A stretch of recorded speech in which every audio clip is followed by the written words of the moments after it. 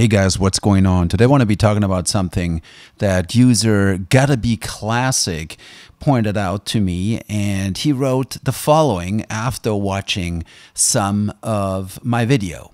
Hey, so I wanted to share with your community that there is options for controlling the order in which plugin parameters are displayed.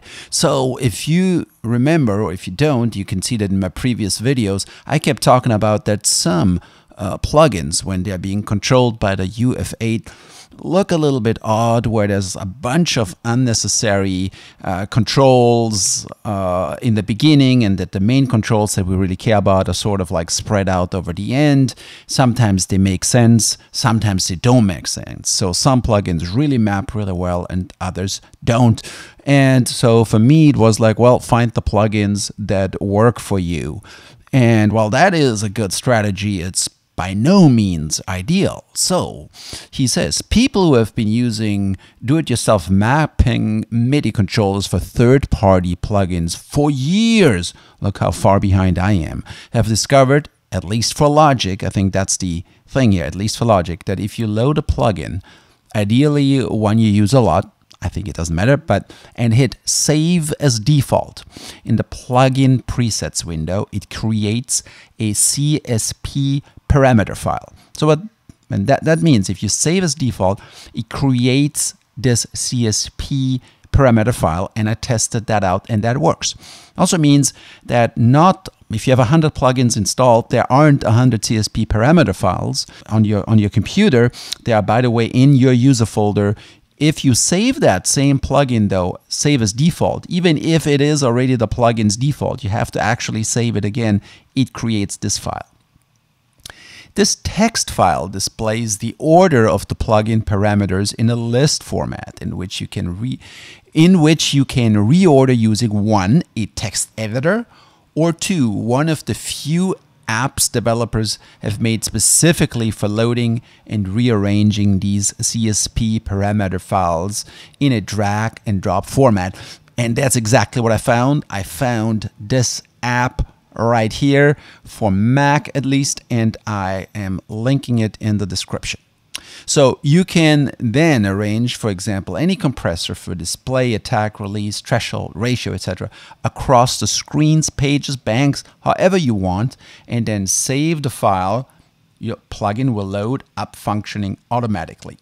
That would make the UF8 much more effective at controlling third-party plugins. People have been doing this for years with all kind of neat controllers. He gives a few examples. Always good to make backups of the parameter files just in case any DAW, OS updates, etc. A lot of convos on Gearspace and other forums. And yes, yes, hell yes, absolutely, damn. So I said you just single-handedly doubled the value of people's UF8 Great reminder. Well, it's not a reminder because I didn't think about it and I didn't know about it. Not a reminder. It makes total sense. So, yes, gotta be classic. Thank you for sharing this. So, I went down uh, eh, for not too long 20 minutes or so down that path and looked on forums. And it's exactly what people are doing um, at least the ones who are true computer mixing engineers. Remember, in the old days, you had to cut wires and do all of these things and know about electrical things. I think in this day and age, we are still engineers and our skills are more on the computer side. So it is a skill that we should learn, a craft that we should learn. The cool thing is, with that editor, you can really adjust it the way you want it. And I will give you a few examples. And it worked very, very well for me. Um, no big deal at all. Super versatile, and you can really squeeze out maximum ease of use, comfort of use, I should say. All right, so let's look at the vintage graphic EQ. It's basically an API style EQ that is mapped upside down if you just pull it up. It's a great example to show. So it starts with, if you look at here on the left, is 16 kilohertz. And so it goes from 16 all the way down to 31 versus 31 all the way to 16. So it's completely flipped. And that's a good uh, example for us to map these parameters. So the first thing is we want to, uh, first of all, let's reset it. That's the first thing, reset to default. And then we're going to save it as uh, default, and that's creating this CS parameter parameter file. Sorry, I'm saying this in German, parameter or Latin or whatever. Um, and this is since it's a Logic plugin, it is in Music, um, Music apps, and then plugin settings there. Um, but you know uh, you'll find the other plugins in the regular plugin settings so navigate down to um, vintage graphic eq and here it is and we're going to open this with the plist editor that we downloaded and here we are off to the races. It's a fairly simple one to do. Here we go. Just it's a matter of dragging and dropping. And like um, like he said before yes you can do this in the text editor but who's got time for that? So we're going to reorder the most obvious parameters, and then there's others like drive and modeling and uh, overall gain and so forth. Uh, and tune as well, where you can uh, tune uh, so you're not locked to 31, uh, 63, and so forth. So um, the key is to end up, in my book, with 16 parameters, 0 to 15, and then you have exactly two pages.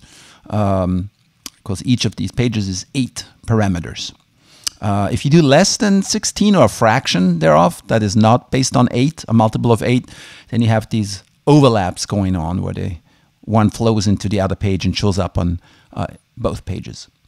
And that is it. And then you remove it, no plugin, and then load it again. So you have to reload the plugin. And it is then complete. And the controller is mapped 31 all the way to 4 and then 8 and then the other parameters there. So how hard was that? Not hard at all. So now it's fun doing this because if you lay this exactly over your UF8, um, it's actually on my monitor exactly the width of UF8 uh, and you can rescale it and it works perfectly. You can look at the screen and just touch. So this is a great one to implement, by the way. Uh, so the same thing here with uh, Teletronix, UAD, LA2. Um, and here I want to go with uh, emphasis. So it's counterintuitive. The way it loads, it starts with peak reduction as the first parameter and then gain. Sure, I can cross fingers. It's not many parameters, just a few, five or so. But I'm going to do the same thing, save it as first, reset it and save it as default. Then I'm going to hunt down for the CS uh, parameter file. I'm going to open that up, not even wasting time here. You can leave that window, the finder window open and do multiple. And then we're going to reorder and it's going to be so much fun editing this, uh, working with this. You know, once we tweak it, you can insert it on every channel, you know, and just use a good amount of plugins that you really like that are comfortable to work with and use them over and over again and your workflow is going to be so much easier. Um, that is the key here. We're trying to make things easy and intuitive. We don't want to think. Thinking good friend of mine keeps saying thinking is overrated. It truly is in music. Um, we're thinking so much, we're working so hard. Um, and that's why people love an analog hardware that those fingers just grab a knob and here we go. And here it is. Um, I don't have a video of the UF8 for this right now, but it is mapped left to right. Cool. I do that with a session that is not important, but then I don't save this. You don't have to save this session. Um, okay, let's do it with uh, UAD Empirical Empirical Labs Distressor, which is mapped pretty well, but it doesn't start with input, attack, release, and output. It rather starts with uh, ratio and then goes into the detector mode and stuff. No, no, no. Um, and starts with bypass. Now I want to start tweaking left to right with input, attack, release, output. So I'm rearranging here. Yep. And sometimes, you know, you can get creative. You can say like, you know, which ones, which parameters are the ones that I'm going to need the most. For me, the mix knob is very important as well.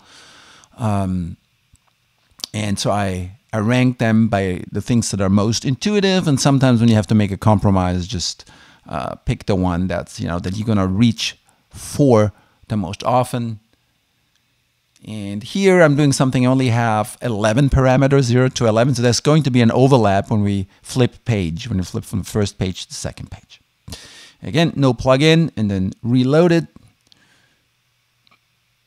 This reminds me to really get rid of some plugins.